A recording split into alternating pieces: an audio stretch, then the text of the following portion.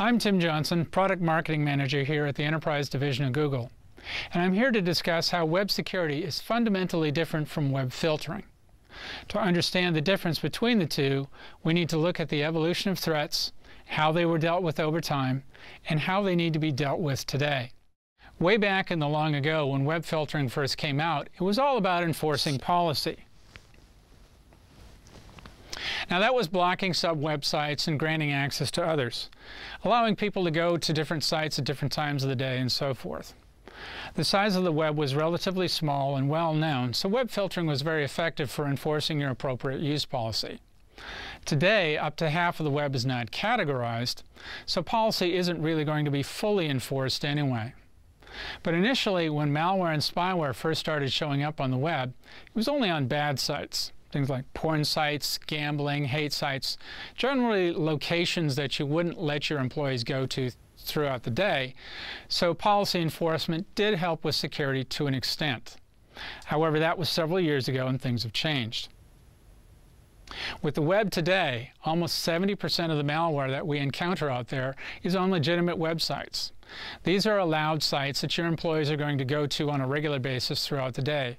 Things like those of your trading partners, technical support sites, information sites, your competitors' websites, as well as retail, news, sporting sites, and so forth. So enforcing your policy through simplistic web filtering won't improve your security posture.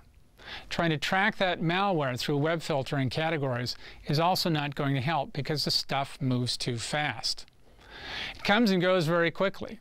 The bad guys design the malware to change very quickly to more effectively avoid signature-based detection. If you're trying to protect your organization with a web filtering product, here's some questions you need to consider.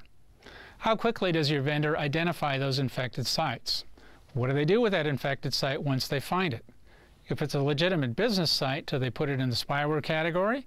And if so, for how long? How long does it take that web filtering vendor to update their database and get that update out to you? How often do you have to update your filter to make sure you've got the latest version? What's the web filtering vendor's service level agreement for watching that site? And then once it's clean, how quickly are they going to recategorize it back where it's supposed to go and get those databases updated again? What kinds of guarantees can they offer about future compromises of those websites? Well, that doesn't cut it. Keeping track of this stuff through web crawling takes weeks to get around through everything that's out there. It's just not current and it's not proactive protection. The problem is getting worse, and we see malware growing at an amazing rate. It's up over 300% this year alone.